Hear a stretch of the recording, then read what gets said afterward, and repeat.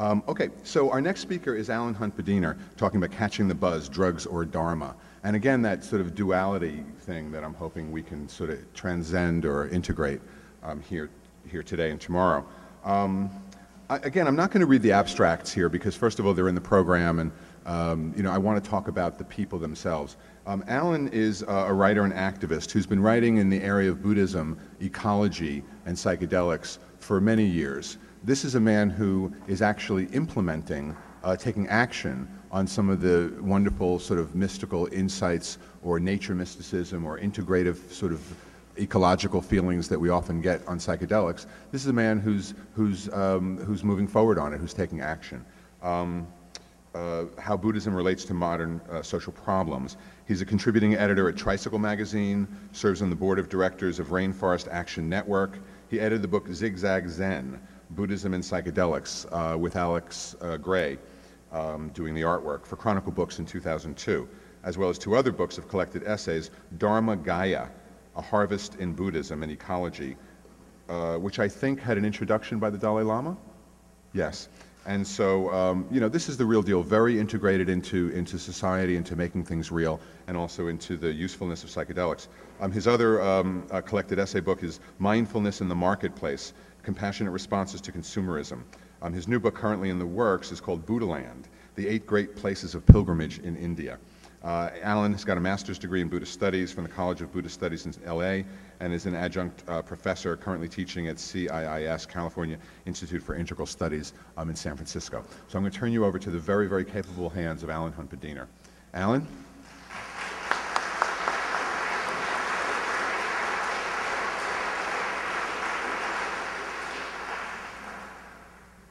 Well, it's a little daunting to follow Daniel Pinchbeck, but somebody has to do it.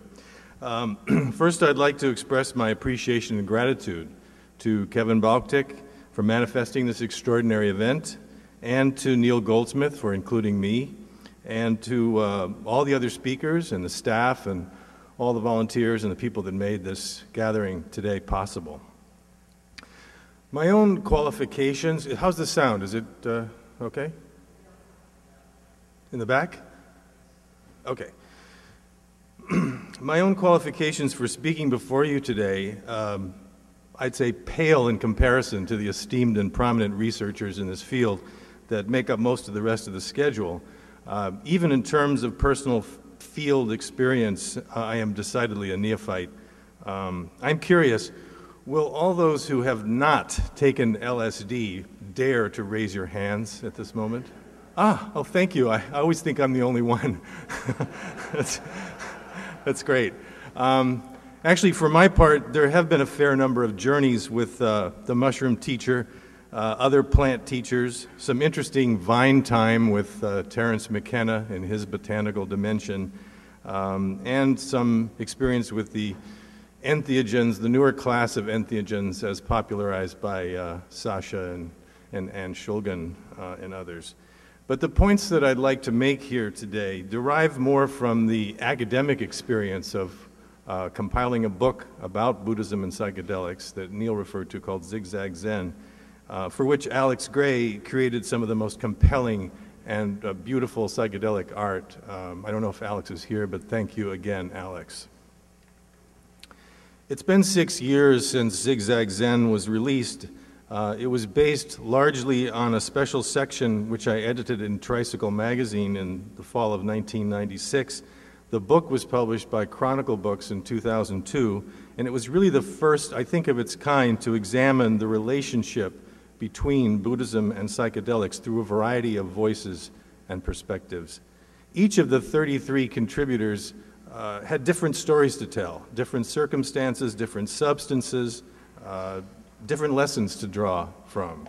For some, it was a story about giving into temptation, uh, suffering a lack of clarity, or worse, uh, lasting confusion and addiction.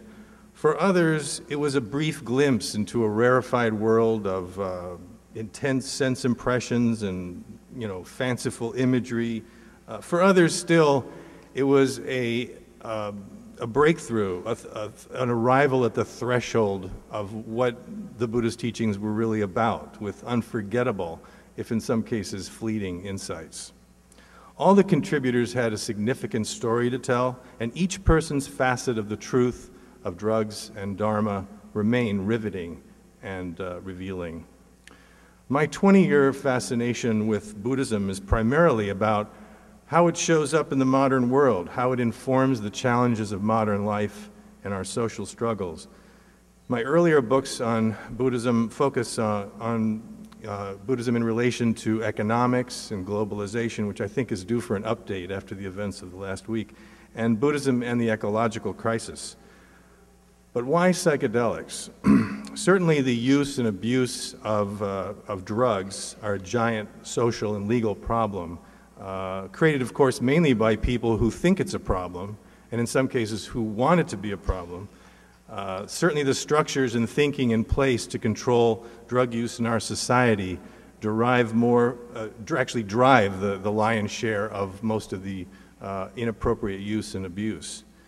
While psychedelics definitely lurk in the backgrounds of uh, and the histories of most first generation Buddhist teachers in America and in Europe, uh, actually, a side note on that when I was putting together Zigzag Zen, I failed to find one teacher uh, who did not have a psychedelic history.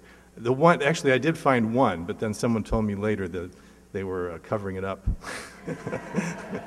so, uh, but today we find many of these same teachers um, advising against this path that they once traveled. The fifth precept, the Buddhist admonition against drinking intoxicating liquors, is frequently touted as the end of conversation about the possibility of using psychedelics, regardless of the sincerity or intensity of the higher purpose that motivates such a journey. In fact, the intentional use of consciousness expanding psychedelics for personal growth purposes has very little to do with, say, for example, imbibing a bottle of gin.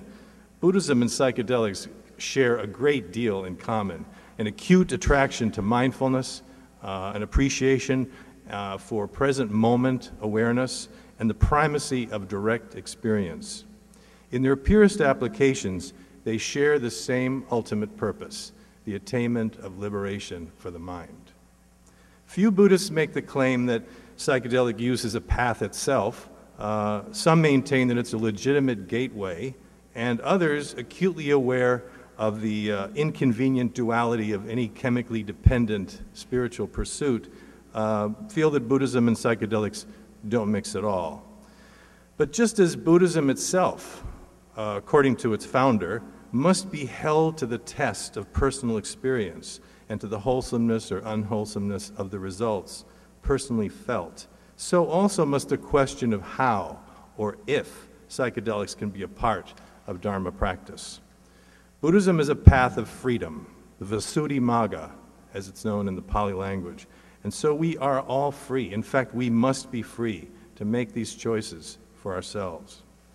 Encouraging critical examination and analysis and the freedom to make discoveries for oneself is an essential foundation of Buddhism, and it's found as far back as the Kalama Sutra. The Kalamas lived in an area of northwest India called Kesaputta uh, during the time of the Buddha, and they were primarily of the merchant class. The Buddha was advising them on how to verify what is true. And I think the Buddha's advice to them bears some uh, quoting in, in a little detail here. he said, Do not go upon what has been acquired by repeated hearing, nor upon tradition, nor upon rumor, nor upon what is in Scripture, nor upon one's surmise, nor upon an axiom, nor upon logical reasoning, nor upon a bias towards a notion that has been pondered over, or another's seemingly keen mind nor upon consideration that this monk is our teacher. The Buddha warned the Kalamas only when you yourselves know in your experience that these things are good, that these things are not blamable, that these things are praised by the wise, undertaken and observed to lead to benefit and happiness in you, should you abide in them. Just as social prohibitions on what ideas to let into your consciousness are an anathema in Buddhism, so must be uh, the restrictions on what plants to let in. Tibetan Buddhists, for one, have developed over the centuries a wide field of psychopharmacology